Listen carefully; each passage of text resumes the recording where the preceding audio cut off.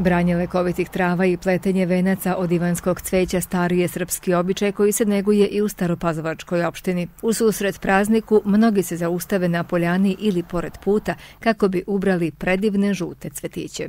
Po tradiciji moje nekadašnje očevi, babe i to što su pričali, znači to je bralo se većinom ko ima djevojku za udaju iz kuće i tako da se pete venac kao da se uda, to je kod nas bila ta tradicija. Večera se pravi venac, znači stavlja se suncokret, beli luk kao da štiti.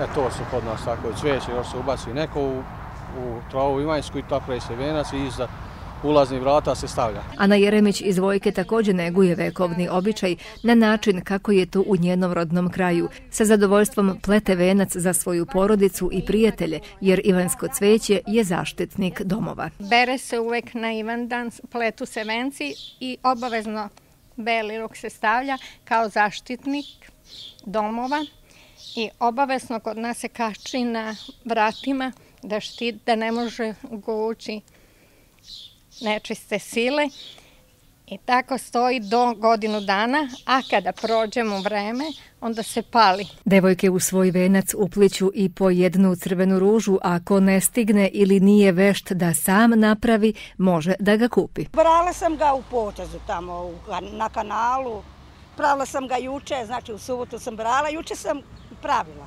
I danas sam nastala da pravim uz put i prodajem.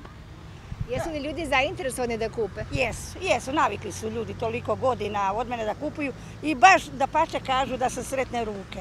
Od ivanskog cveća, biljke sitnih žutih cvetića i igličastih listova vekovima se prave lekoviti čajevi za jetru, bubrege i protiv kožnih oboljenja.